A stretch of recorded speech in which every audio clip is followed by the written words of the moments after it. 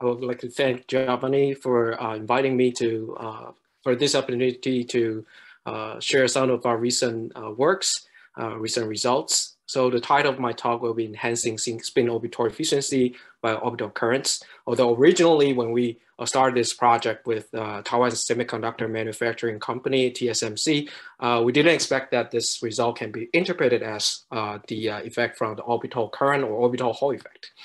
Uh, so original plan for this project uh, with the industry is just to enhance the efficiency of, uh, of this SOT effect.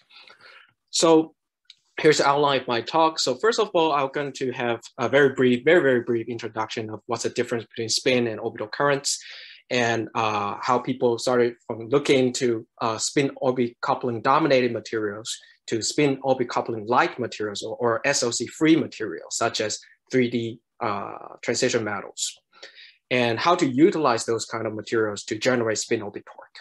That is by utilizing the orbital Rashba-Edelstein effect or the orbital Hall effect.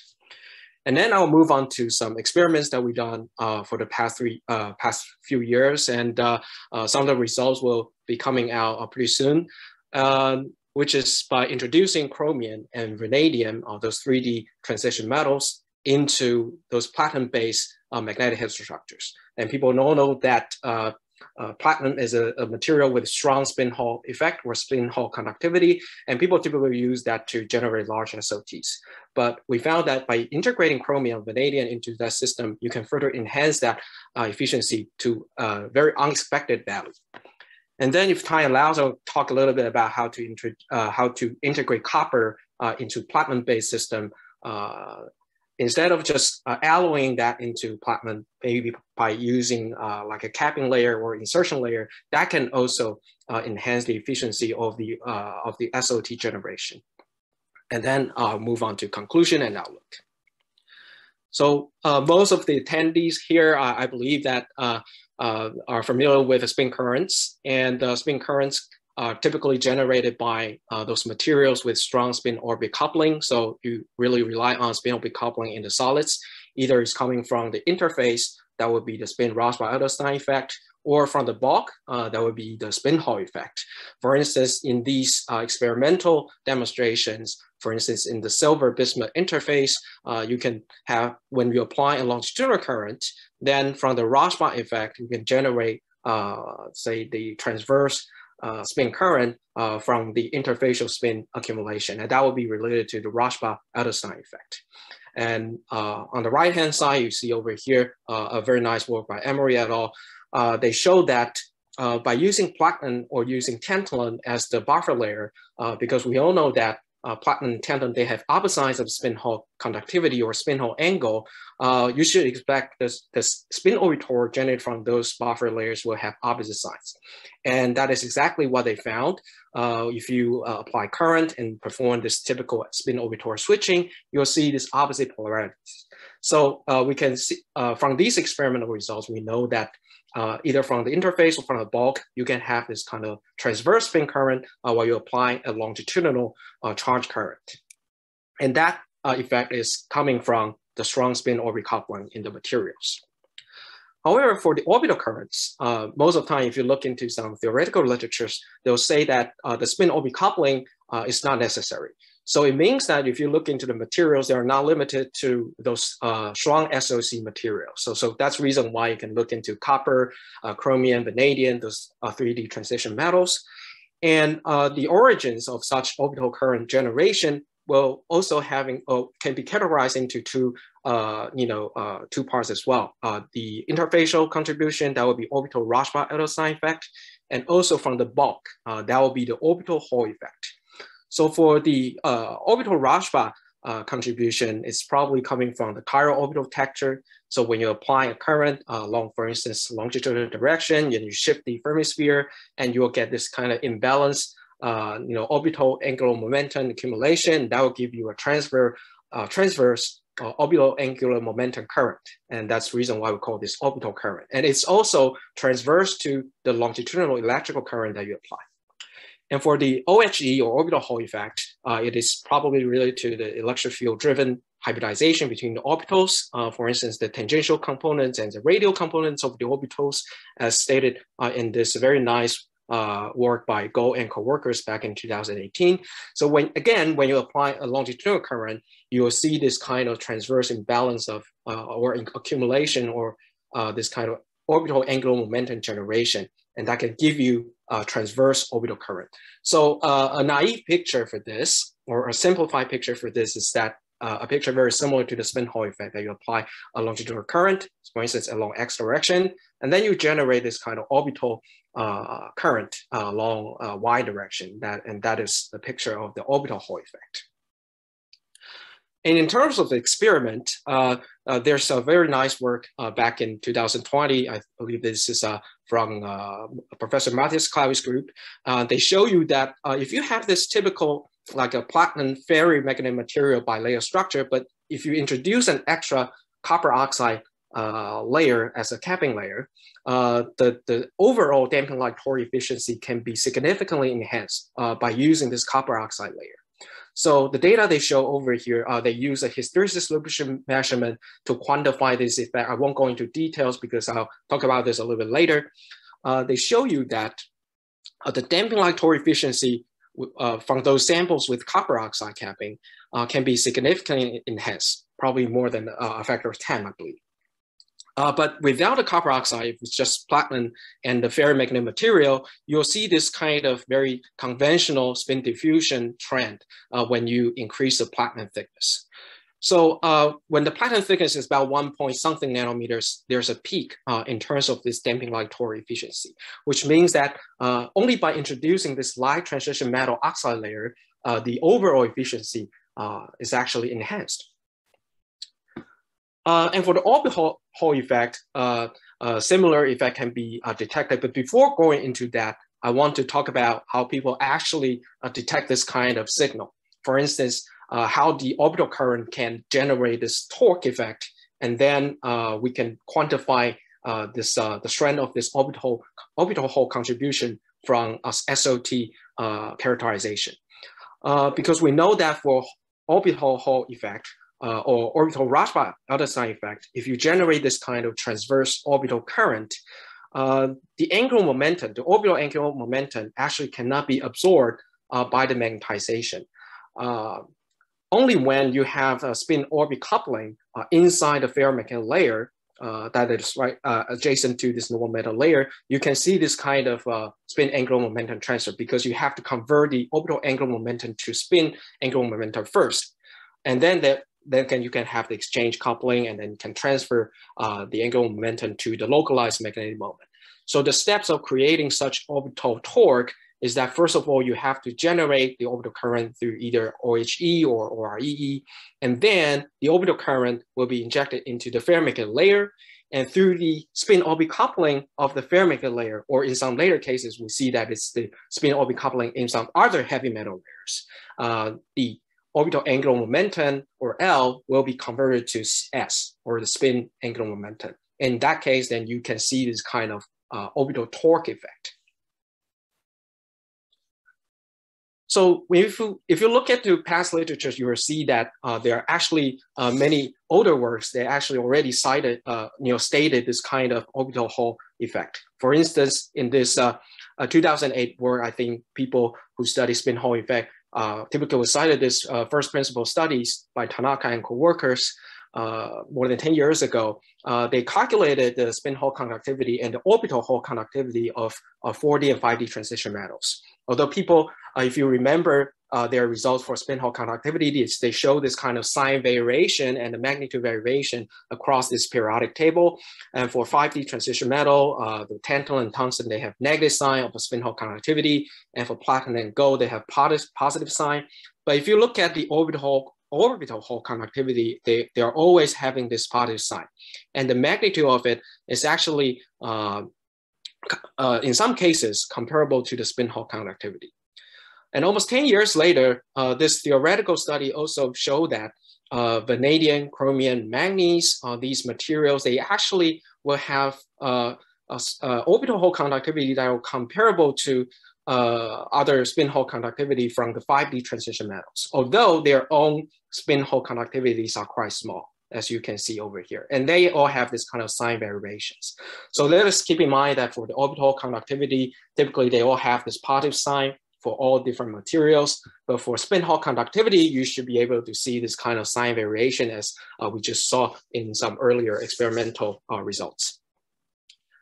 So more interestingly, from, uh, from this uh, experimental study last year, uh, they show that uh, if you use the same spin-Hall material or heavy metal material, tantalum, but you couple that uh, with different kinds of ferromagnetic materials, you'll see this kind of sign change in terms of the, uh, the measure overall spin orbital efficiency. And then if you convert that to the so-called spin-Hall conductivity, then you'll see this kind of sign change, which is pretty weird because we know that for tantalum, the spin Hall conductivity should be negative.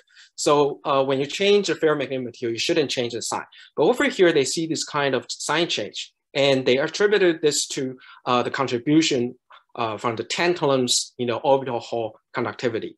And because the orbital current has to be converted into spin current by the spin orbit coupling in the ferromagnetic layer. So by using different ferromagnetic layer, you should be able to see uh, like different uh, magnitudes of the, the second uh, of the second term. So it turns out that if you use, use nickel, uh, this conversion uh, coefficient uh, CFM is much larger. So you'll see this kind of sign change because recall that for all 4D and 5D transition metal, all the orbital Hall conductivities are positive. So that would tune the overall uh, you know, spin, I would say the spin orbital Hall conductivity from negative to positive in the case of nickel tantalum. So this is actually very interesting work. So this L to S interconversion coefficient, as stated in this paper, uh, I think is a, a key to study uh, the orbital Hall effect. And uh, also published uh, uh, uh, last year is this very interesting work on the switching. So uh, I won't go into details, but as you can see over here, they put a chromium underlayer, uh, you know, uh, beneath uh, platinum. And we know that uh, platinum has a positive spin Hall angle and chromium has a negative spin Hall angle. So uh, in the case that you have very thick chromium and a thin platinum, and most of the current flowing in the chromium layer, you should expect a negative spin orbital or a sign should be negative. But what they observe, you know, on the right-hand side in the data show over here, when you increase the chromium thickness, they actually see an increase uh, of the uh, damping like efficiency or the spin Hall angle uh, towards a more positive value, which suggests that when you increase the chromium layer, uh, you have more current flowing in the chromium. Uh, the sign of the, the overall spin Hall conductivity or the spin orbital Hall conductivity becomes more positive rather than becoming more negative. So that's uh, different from uh, uh, uh, intuitive thinking that chromium has a negative spin Hall angle, and when you increase the chromium thickness, you're having a more negative spin Hall angle.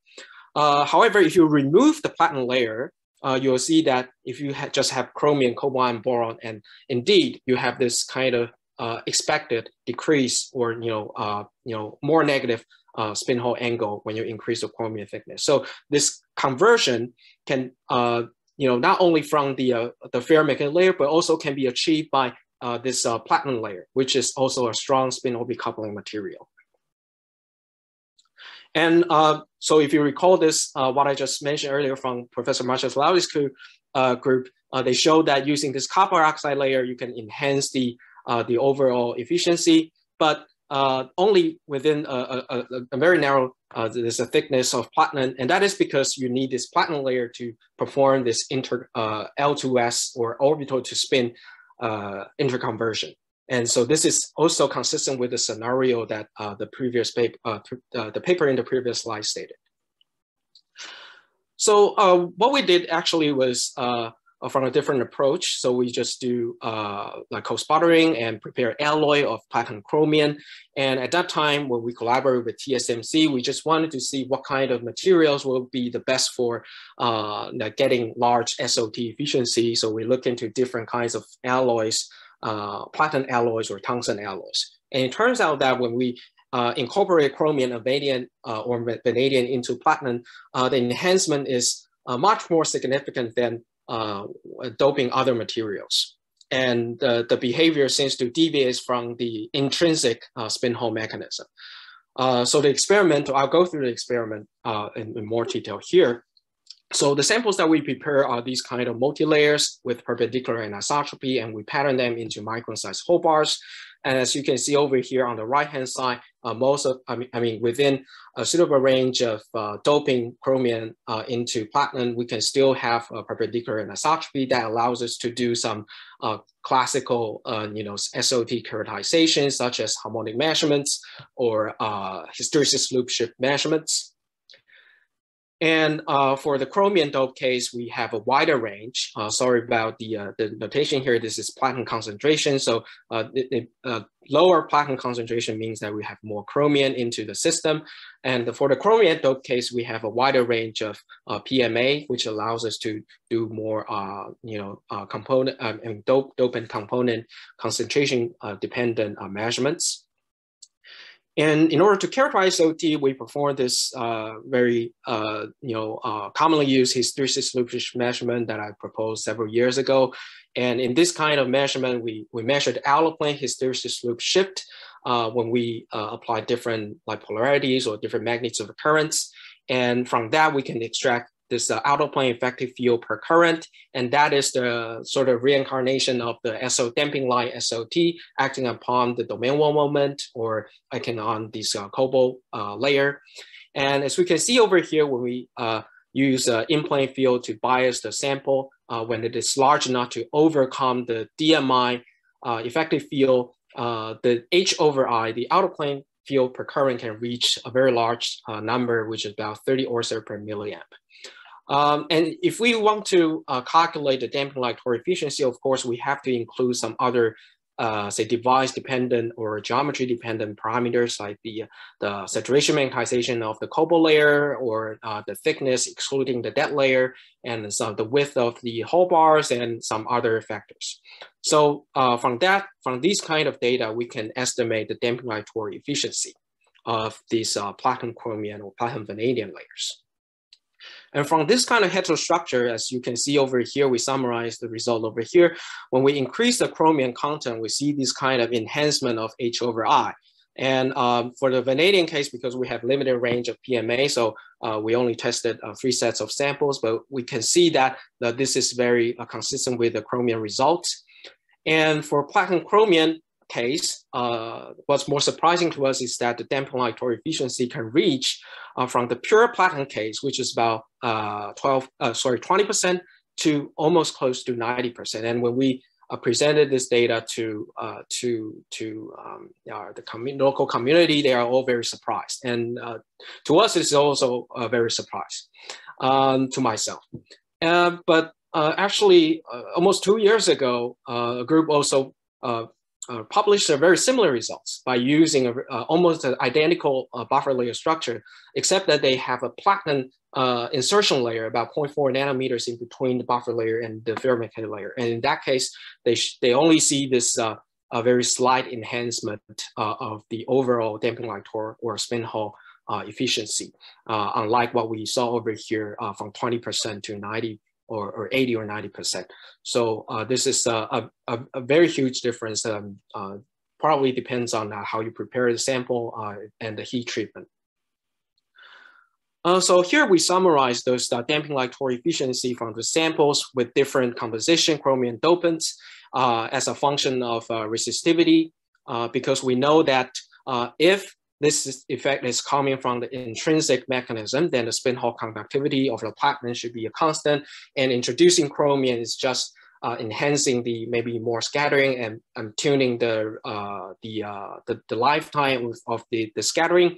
And that will just uh, enhance this damping like efficiency linearly. However, we see this kind of deviation uh, from the linear trend. So although the average uh, number or average number for the spin Hall conductivity or the spin orbital Hall conductivity is large, uh, we, we indeed see this kind of deviation from the linear trend. So alternatively, we plot uh, the spin Hall conductivity uh, by using uh, this uh, our experimental observed or measured or determined torque efficiency times the uh, the, uh, the longitudinal conductivity and then plotted as a function of uh, longitudinal conductivity. Uh, if it's really coming from an intrinsic mechanism, then we should see that uh, from the pure platinum case to uh, with a certain degree of do doping concentration, it should be a flat line because then the spin-Hall conductivity should be uh, the same. However, indeed, we see this kind of enhancement from about four times 10 to the fifth to about six or five uh, or six point something times 10 to the fifth ohm meter inverse. So it means that the mechanism should be uh, different from just a, a intrinsic uh, mechanism and by uh, introducing more scattering. And so we believe that uh, a, a, better explanation is that this uh, difference is coming from the orbital con, you know, contribution from the chromium and also by this interconversion from the orbital Hall or orbital current to spin current, either by using the platinum layer or by the cobalt layer. And so another uh, evidence or another uh, reason why we believe that this is the case is because, uh, again, for chromium, the spin Hall angle should be negative. So if you include more chromium into the system, you should be able to, if it's indeed coming from the spin Hall effect, you should be able to see that uh, the effect should be uh, decreased instead of uh, being increased. And of course, we did some switching measurement to verify that indeed in the case of chromium with chromium dopants, the critical switching current density or switching current can be reduced with preserving the thermal stability of the cobalt layer. And we also uh, calculate the power consumption. And indeed, when we increase the chromium contents, uh, there's a significant reduction of the power consumption. And if you consider a prototypic, a prototypic SOT-MRAM device and then uh, and then compare the results uh, performing a benchmark uh, for different kinds of uh, published results. And indeed, its platinum chromium results is on the lower end, you know, of, of all these data points. Uh, as you can see over here, for platinum-based uh, results, typically they have a very, very low uh, power consumption with uh, a moderately low, let's say, the spin current source resistivity, which is probably good for industrial applications. And there are also other people uh, you know, reporting this kind of a benchmark. For instance, uh, Dr. Zhu from originally from Cornell University had this very nice and comprehensive review uh, published last year, uh, and they sh he showed you that indeed for the platinum case, uh, the the torque efficiency can indeed approach unity or close to 100%. so not just the uh, these kind of uh, chalcogenide materials can give you large damping torque efficiency, but also for the platinum-based material system with some, uh, for instance, in in his case, he did some uh, interface spin transparency uh, engineering.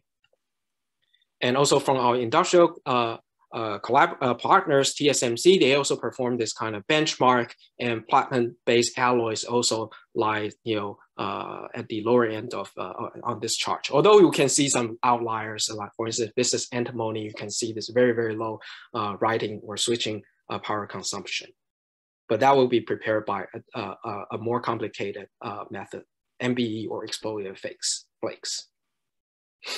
Uh, so I'm running out of time, so I'm to, to speed up a little bit. Uh, so the, for the copper case, I'm just going to go through this very quickly. Uh, so not only by uh, co-sputtering, we can also do this by uh, putting uh, a capping layer on top of the ferromagnetic layer and then to, to generate uh, the orbital Hall current.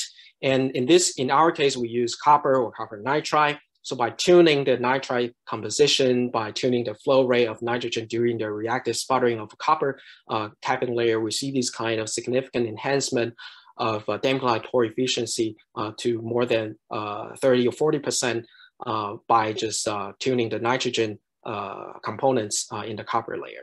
And if you compare to the uh, control sample case, there's a, very significant enhancement of the overall spin orbital Hall conductivity by using a light 3D transition metal, you know, um, you know, nitride. So this is similar to what Professor Kläui's group did using this copper oxide layer. So uh, here's my conclusion and outlook. I believe that uh, I show you that the live 3D transition metals such as chromium vanadium or copper-based materials uh, can use this kind of spin orbit coupling free uh, you know, uh, mechanism to generate or to enhance the overall SOT efficiency or spin orbital Hall conductivity. But it typically relies on this, uh, you know, integration with this heavy metal or heavy or, or ferromagnetic material to to pro provide this orbital to spin interconversion. And we believe that further optimization, for instance, tuning the interface spin transparency using like anti-ferromagnets, nickel oxide, we can further improve this efficiency to maybe more than a 100%. So uh, with that, I want to thanks for your attention and see if you have any questions.